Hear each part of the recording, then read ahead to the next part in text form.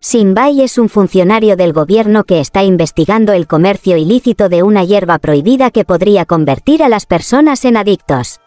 Sufre de ceguera facial, lo cual es un secreto muy bien guardado. Al mismo tiempo, Nansing espera encontrar un antídoto para su condición secreta que hace que su apariencia cambie cuando menstrua.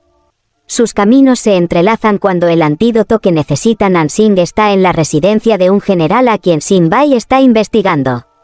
XN Bai y Nansing se hacen amigos después de un mal comienzo inicial, pero ella finalmente siente que él solo la estaba utilizando para resolver su caso. Por lo tanto, toman caminos separados pero terminan encontrándose nuevamente en la capital. Nansing está allí para buscar al niño que la había salvado hace muchos años cuando un secuestrador la obligó a ser una novia niña. Sinbai continúa su investigación sobre el caso de la hierba prohibida que involucra a poderosos funcionarios de la capital. Su condición secreta los convierte en personas solitarias y esto les ayuda a establecer una conexión especial. Juntos se apoyan mutuamente y tratan de llevar a los criminales ante la justicia. Alerta de spoilers. Follow Your Heart tiene un final feliz. Lord Pei es arrestado y condenado a muerte por drogar al emperador con la hierba prohibida. Anteriormente, había obligado a Nansing a beber una poción que pensó que le daría el secreto del cambio de forma. Pero la poción, que fue preparada por su madre adoptiva para curar su condición, sigue siendo imperfecta.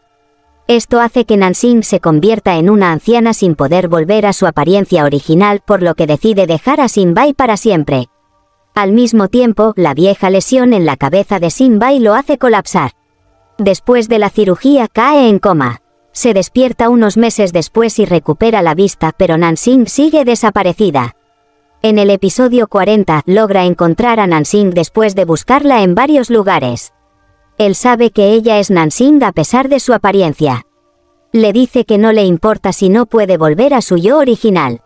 Se reconcilian y Nansing recupera su propio cuerpo mientras se abrazan porque el último ingrediente que necesita la poción es encontrar a la persona que lo comenzó todo. Otros eventos clave. Hay una boda para las tres parejas hacia el final. Nansing y Sinbai recuerdan las diferentes personalidades en las que ella se había transformado desde el momento en que se conocieron después de la ceremonia. Fragmentos de la vida matrimonial de Sayer y Bailey ponen fin al drama. Conocimientos mutuos del secreto. En el episodio 10, la apariencia de Nansing cambia, pero Sinbai parece incapaz de reconocer su nuevo rostro.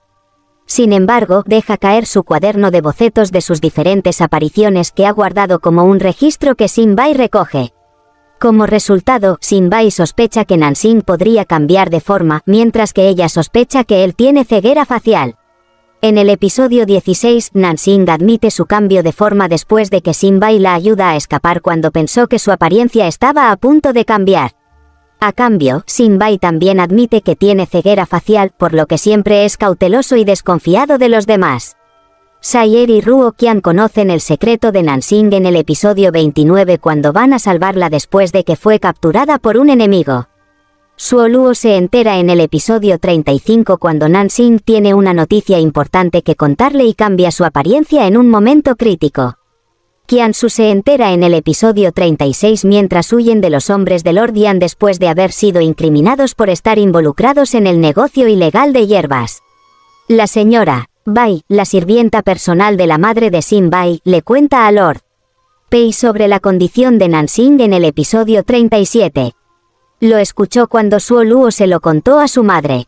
Pero la señora, Bai se da cuenta de que se equivocó al confiar en Lord Pei, quien inicialmente pensó que podría salvar a la familia Yang. Ella es asesinada por Lord Pei en el episodio 39 después de liberar a Nansing, a quien él había capturado. Relación entre los protagonistas. Sin Bai le insinúa a Nansing que deberían estar juntos después de haberse confesado sus secretos en el episodio 16, sugiriendo que deberían protegerse mutuamente. En el episodio 18, Nansing escucha a Sinbai decirle a su hermana que Nansing es su mujer y que confía en ella. Esto ocurre después de que Suo Luo expone el matrimonio fingido de Nansing y Sinbai para resolver un caso en He-Man en el episodio 6. Sinbai se arrodilla voluntariamente y es apuñalado para salvar a Nansing después de que ella es secuestrada por el nieto de Lord Lu en el episodio 20. Ella se conmueve con su acción para salvarla.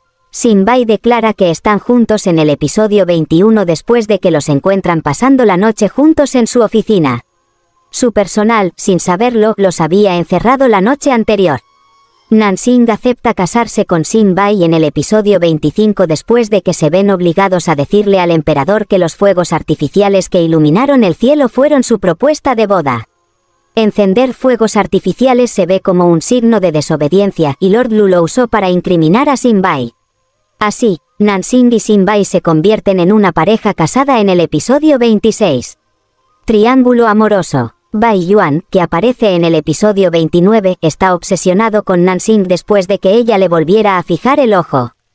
Va a la capital a buscarla y logra manipularla para que lo emplee en su tienda en el episodio 33. Sin embargo, Bai Yuan también tiene tratos con Yan Viking para suministrarle la hierba prohibida. Usa la tienda de Nansing para almacenar las hierbas pensando que ella se vería obligada a irse con él si las autoridades y Sinbai descubren que ella está involucrada en el comercio ilícito, a pesar de que ella claramente lo ha rechazado dos veces. Cuando se descubre el papel de Bai Yuan, es perseguido por las autoridades. Se esconde en la tienda de Nansing. Lord Yan aprovecha la oportunidad para atacar la tienda. Bai Yuan muere para proteger a Nansing de una lluvia de flechas. Antes de morir, deja una pista para derribar a la familia Yan. Ruptura. Sinbai pide el divorcio en el episodio 37 cuando son acusados de ser criminales y perseguidos. Le dice que su padre no había protegido al padre de ella y que su situación actual también se debe a su conexión con él. Sinbai siente que ya no puede proteger a Nansing. Además, necesita correr un gran riesgo para regresar a la capital como un criminal buscado para vengar la muerte de Qiansu. Sin embargo, Nansing no guarda resentimiento hacia el padre de Sinbai, ya que era un hombre justo como su propio padre. Ella está dispuesta a sacrificar su vida para proteger a Sinbai. Por lo tanto, toma la decisión de entregarse a Lord Yan y afirma que es la única responsable del tráfico de drogas prohibidas junto con Bai Yuan. Conexión con la infancia. Sinbai se da cuenta de que Nansing es la chica que salvó cuando eran niños en el episodio 25 después de que ella le contara los detalles sobre su experiencia pasada. Ella descubre que Sinbai es el chico que está buscando en el episodio 32 después de que alucina en un campo lleno de hierbas prohibidas. En el episodio 37, la madre adoptiva moribunda de Nansing le cuenta a Sinbai sobre los padres biológicos de Nansing. La madre biológica de Nansing era mayor que ella. El padre de Nansing fue el testigo que el padre de Sinbai no protegió. En realidad, era el espía del padre de Sinbai para descubrir al criminal detrás de escena. Sin embargo, hubo pocos avances en el caso. Entonces, el padre de Nansing se usó a sí mismo como cebo para atraer a la mente maestra y terminó siendo asesinado. Todo su pueblo fue incendiado. Nansing sobrevivió porque su madre la cubrió con su cuerpo. Su madre adoptiva le había ocultado la verdad y le había dicho que era huérfana. Sinbai le cuenta a Nansing sobre sus padres después de la muerte de su madre adoptiva. Esto alimenta su deseo de protegerla a toda costa. ¿Qué pasó con el padre de Sinbai? El padre de Sinbai estaba investigando el caso de la hierba prohibida cuando el testigo que había encontrado fue asesinado justo antes de que pudiera hacer su informe. Toda la aldea del testigo fue incendiada. En consecuencia, el padre de Sinbai fue acusado de negligencia en el cumplimiento del deber. Fue condenado a muerte por Lord Lu, quien presidía el juicio.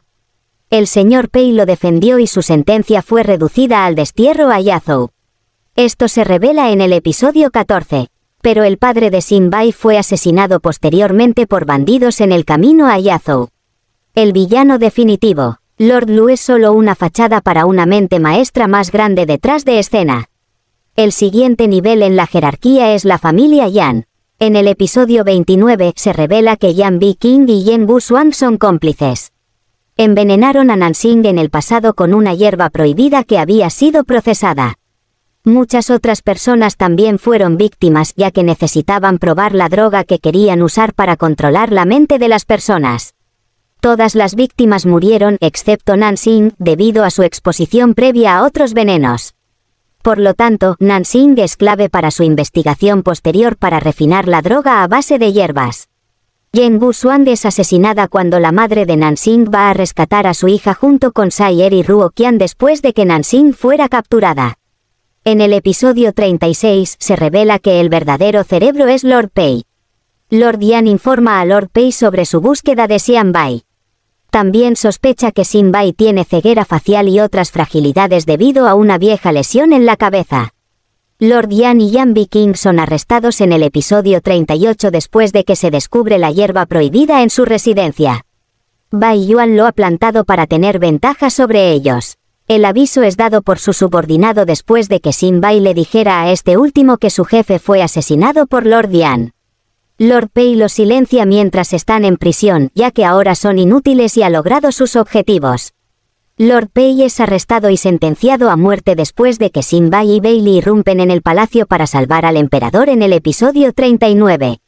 Ha estado drogando al emperador con la hierba venenosa que Nansing logra desintoxicar. Segunda pareja. Bailey comienza a desarrollar sentimientos por Sayer después de que ella se convierte en su fuente de aliento para enfrentar su pasado. Él la emplea para trabajar en su residencia en el episodio 19 y le pide que la trate como su hogar en el episodio 24. Sayer le dice a Bailey que quiere que él sea su hermano a cambio, pero él duda ya que tiene sentimientos diferentes hacia ella. Se ve afectado cuando Sayer lo besa accidentalmente en el episodio 31.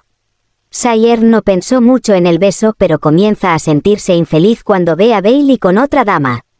Se da cuenta de que siente algo por Bailey después de conversar con Ruo Kian sobre su problema en el episodio 32.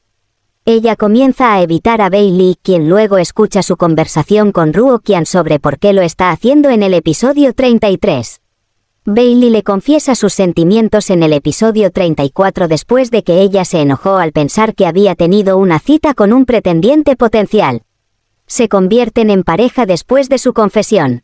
Ruo Qian acepta un trabajo en la residencia de Suo Luo como limpiadora para ganar más dinero para ayudar a su familia, lo que les permite verse más.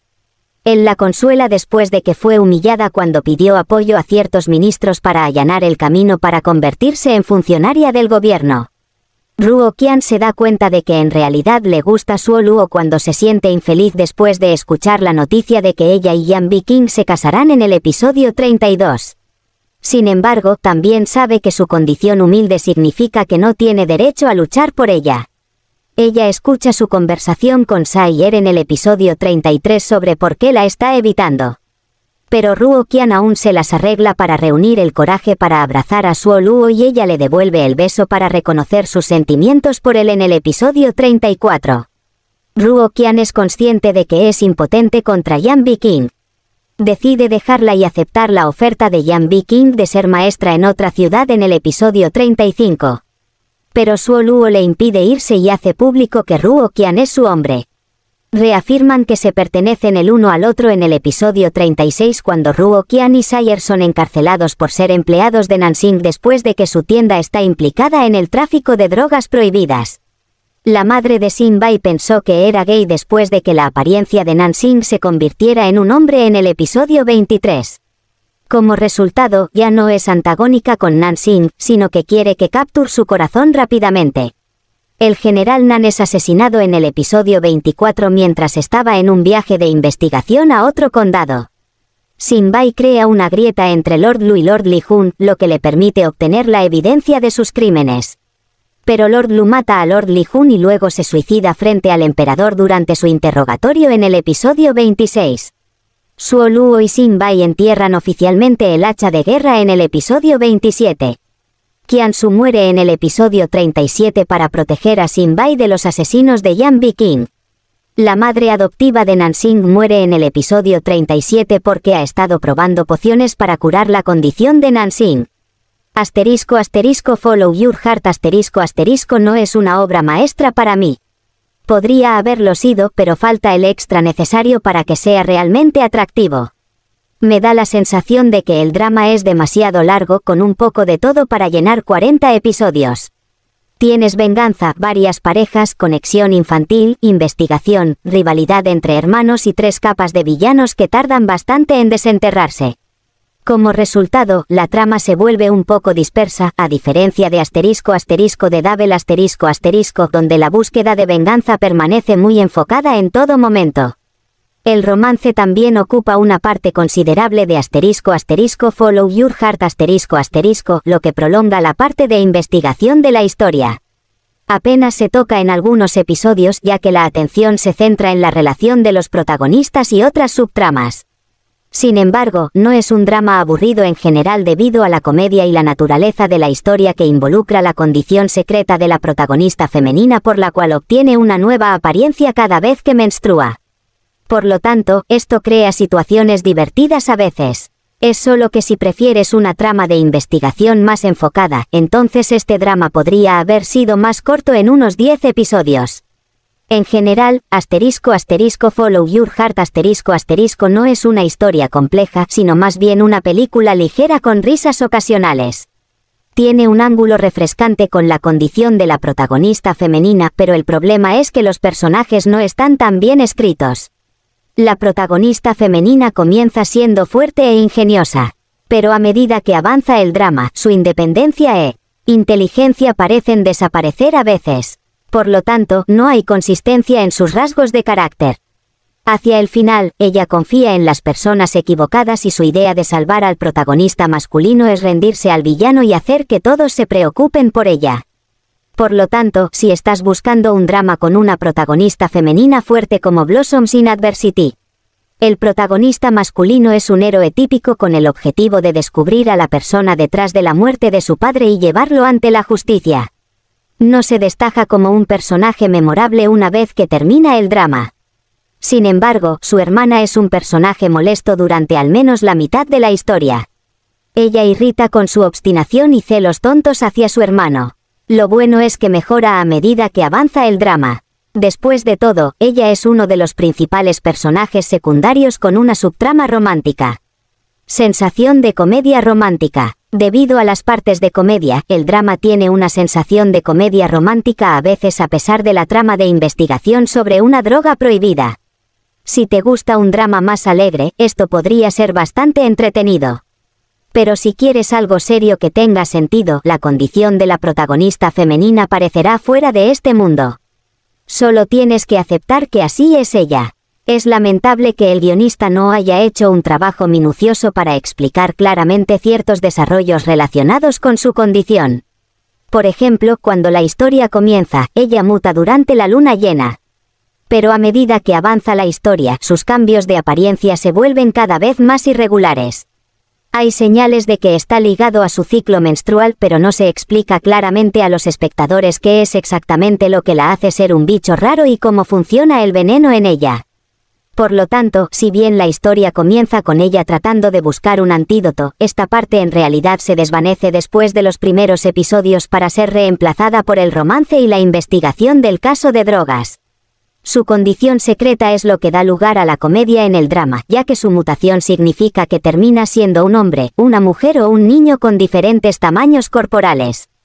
También es parte de la razón por la que el drama puede extenderse a 40 episodios. Por lo tanto, es un reloj entretenido si te gustan las partes de comedia romántica. Por el contrario, parecerá un drama tonto si prefieres algo